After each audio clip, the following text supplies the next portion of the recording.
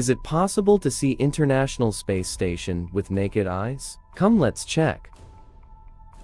In order to capture the ISS with our naked eyes, make sure we are free from building and tree areas and the sky should be clear.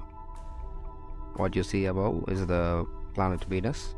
ISS will be passing nearby the Venus, so we keep Venus as the reference point. Now open any of the tracking portal app and choose ISS.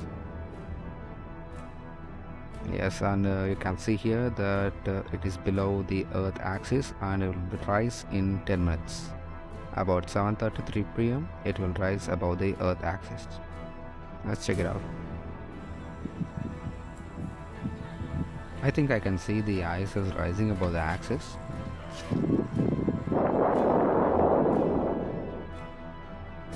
It is a little bit dimmer uh, the access point ISS will be dimmer as this magnitude is a little bit less.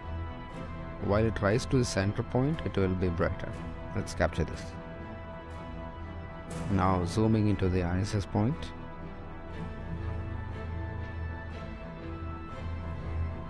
Yes now you can see clearly a brighter ISS moving a little bit fast. Yes now zooming out.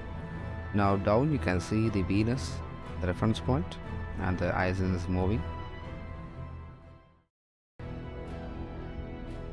Now I'm uh, adding this application for the reference so you can clearly see that uh, what uh, constellations it is moving around.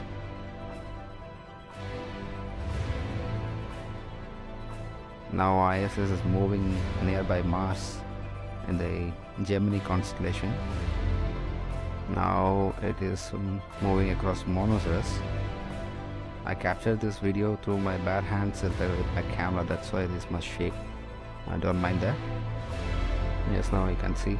ISS moving with that access point that uh, now moving nearby the constellations of Vela now it's crossing through the Carina Nebula now it is near the Crux constellation